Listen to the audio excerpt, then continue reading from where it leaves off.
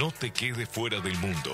Miradas al Sur, una columna geopolítica desde nuestra América, con Amparo Sayago. Miradas al Sur, en el Ágora.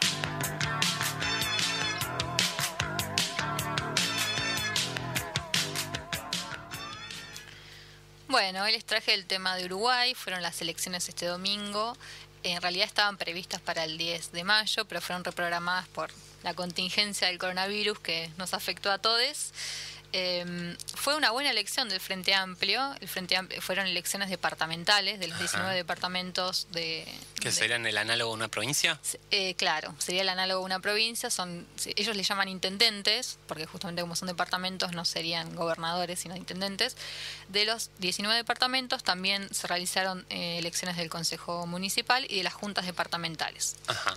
Eh, fue una, como te decía, fue una buena elección del Frente Amplio, a, pes- a pesar de que eh, tenía 6 de las 19 departamentos, perdió 3, pero el dato es que mantuvo eh, el gobierno en lo que es Montevideo, Canelones y Salto. ¿Y por qué son claves? Porque Montevideo y Canelones representan el 55% de toda la población de Uruguay. Es- son las áreas metropolitanas donde hay mayor concentración de población y son los distritos claves eh, urbanos. Ajá. Em, y bueno, a ver, listo.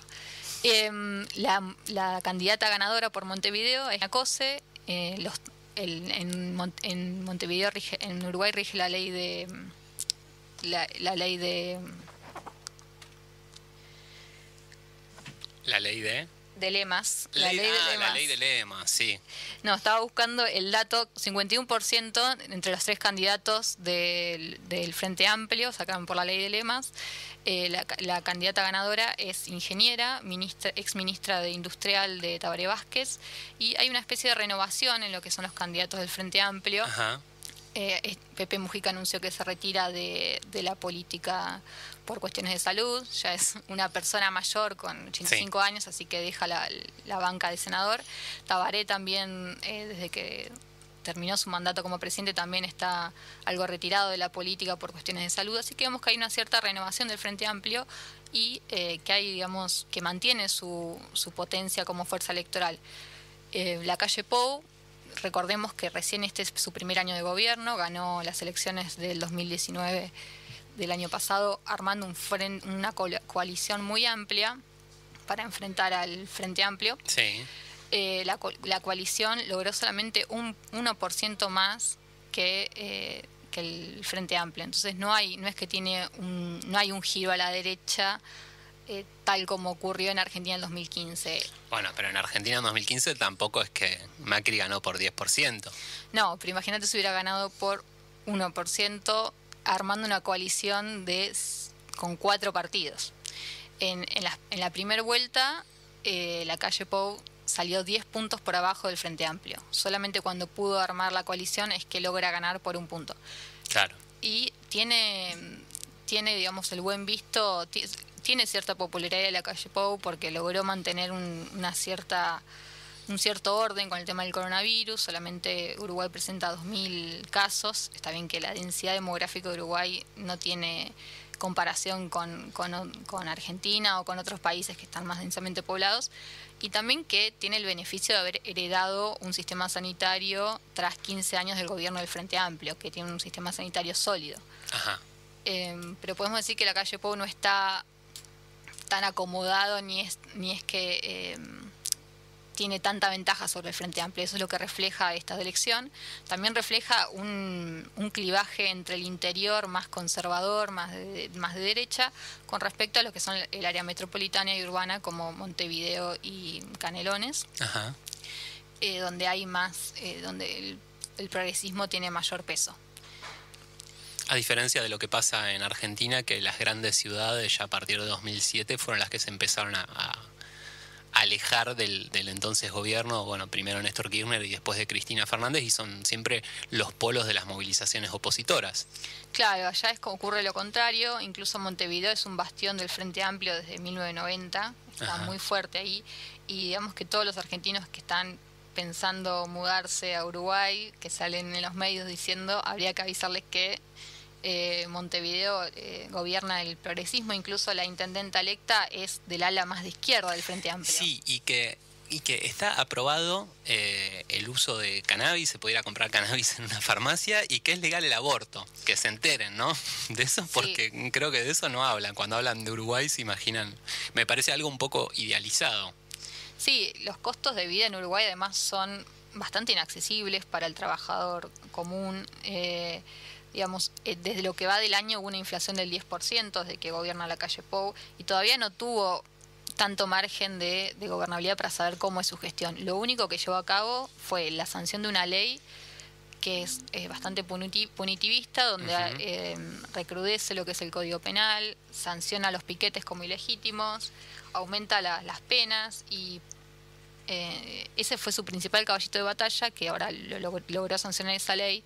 También en el 2019 el principal tema en la agenda pública de, los uruguayos era el tema de la inseguridad, por eso es que también él logra posicionarse como un candidato fuerte para las elecciones de 2019 y logra ganar, pero hay que ver ahora cómo va a gobernar eh, a partir de que la pandemia ya, digamos, no sería el principal tema en agenda y que logra sancionar esta ley de seguridad que era su caballito de batalla, cómo logra llevar a cabo, digamos, su política más en la gestión de gobierno que estuvo medio frenada en este tiempo.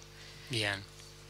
Em, además, recordemos que el Partido Nacional eh, logra también ganar los, los 15 departamentos de los 19 a partir de una coalición amplia como hizo en las nacionales el año pasado.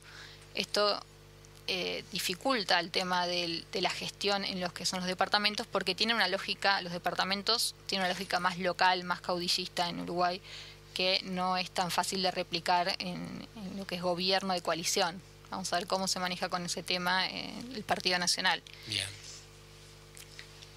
Y bueno, eso sería lo del tema de Uruguay. Eh, también otro de los de los puntos de su gestión era el tema del déficit, el déficit de, la cuenta corriente.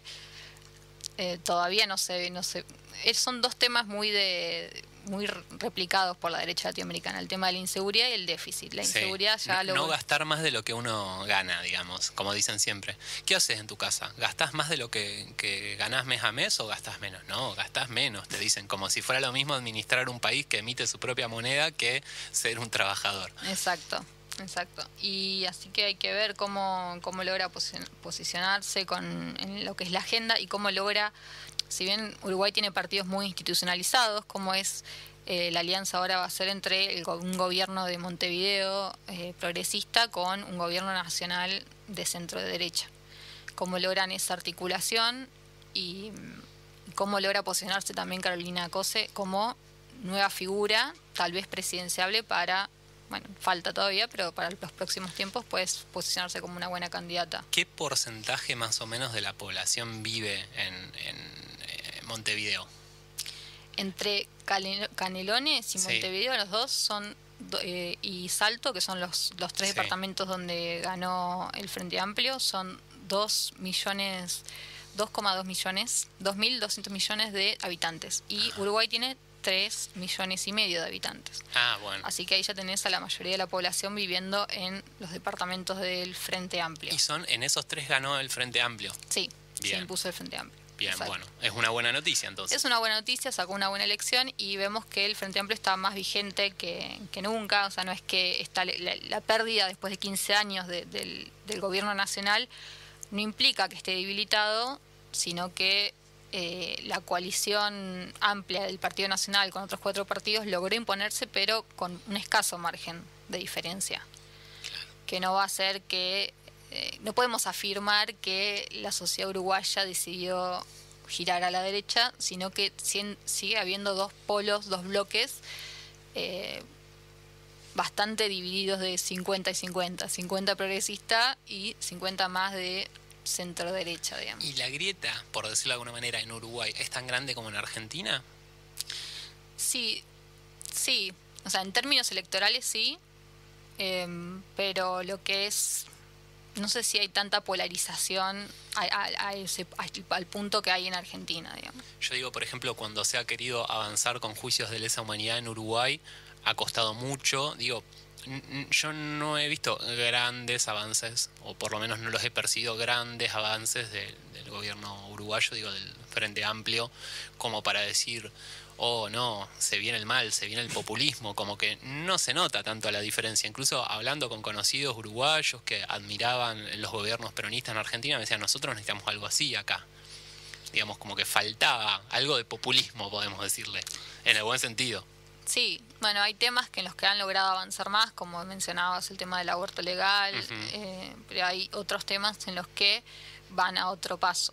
Claro. Eh, el partido, uno de los partidos que coaliciona con el Partido Nacional, es eh, que sacó el 10% de los votos, es un partido que lleva a cabo un militar, que es más de, más de la derecha más recalcitrante. Entonces, ahí hay una demostración de que tiene un peso, tiene cierto peso el, área militar en lo que es la política nacional. Bien. De Uruguay. Bueno, tendremos que estar atentos a ver qué pasa en el vecino país, como se suele decir, para ver cómo evoluciona la situación. Pero en principio no habría vuelta a la derecha. Eh, bueno, más o menos. Más o menos, bueno. Estaríamos ahí en el partido todavía. El partido estaría por definirse, estaría disputado, podríamos decir. Digamos que el Frente Amplio se mantiene con buenas chances de disputar el partido. Buenísimo. Bueno, Amparo, muchísimas gracias por tu columna, como cada martes. Escuchamos un poquito de música y ya seguimos.